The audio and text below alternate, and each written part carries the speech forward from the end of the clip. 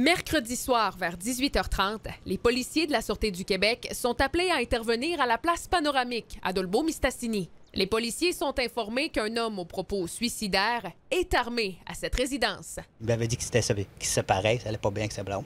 Les agents de la SQ se rendent rapidement sur place. Un périmètre de sécurité est érigé. J'ai entendu euh, les sirènes. J'ai regardé dehors, puis il y avait plusieurs policiers. Là. Euh, je sais pas comment, une dizaine dans l'entour de la maison. Qui rôdaient le long de la maison.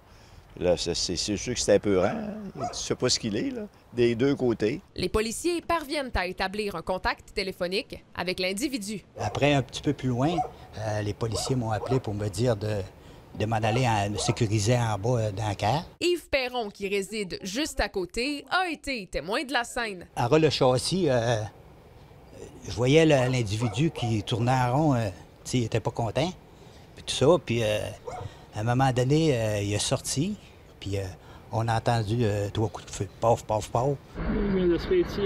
Le BEI rapporte que l'individu aurait pointé une arme en direction des policiers. L'un d'eux a tiré. J'ai pas entendu, mettons, lui tirer, mais j'ai vu le gars à terre. J'ai vu que les policiers ont, sont dépêchés de venir chercher probablement une trousse de, de premiers soins dans leur auto.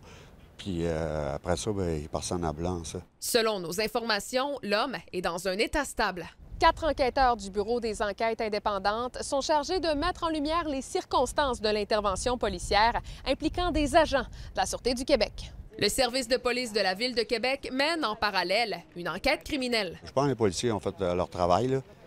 Euh, tu sais, s'ils étaient armés, puis dangereux pour les, le monde était dans les maisons. Là. Ma blonde elle a une garderie quand même en bas, là. on n'aurait pas voulu que ça arrive euh, pendant que les enfants soient là. L'enquête suit son cours. Plusieurs mois seront nécessaires avant que le BEI puisse soumettre son rapport. D'ici là, toute personne qui aurait été témoin de la scène est priée de communiquer avec le Bureau des enquêtes indépendantes. Catherine Boucher, TVA Nouvelles, Dolbeau-Mistassini.